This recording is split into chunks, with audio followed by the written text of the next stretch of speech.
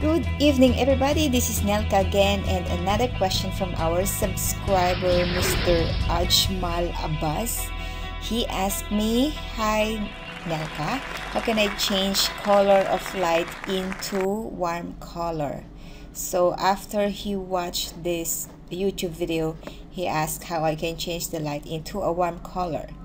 So Ajmal, it's easy. I open this file now and I will show you how to change your uh, luminaire or light output into a warm color.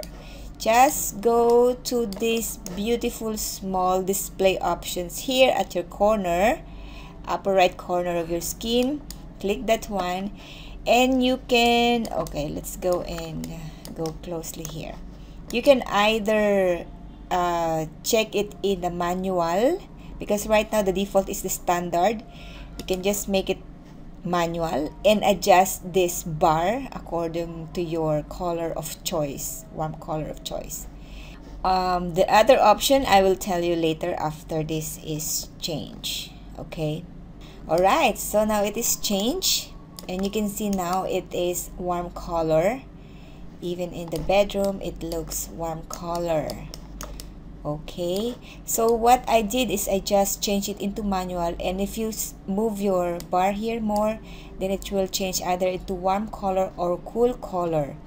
So yeah this is the first way on how to change your light into a warm color. So this is more of the display option. But if you really want to show off the uh, correct color temperature or CCT of your luminaire then uh, the other option is uh, like this. I will tell you how. Okay so the other way is to select your luminaire and make it warm color. For example I will change this globe luminaire into a warm color. Then I will just go to the lamp tab here.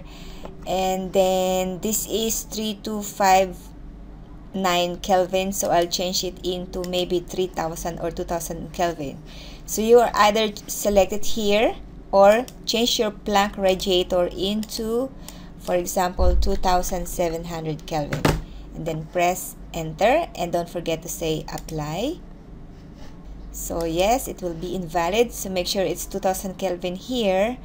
And the rest, I will just make it um, uh, to uh, 4000 Kelvin. Let's check this one and change it. So right now this is um, 3000 Kelvin so I will change it into 2000 Kelvin as well.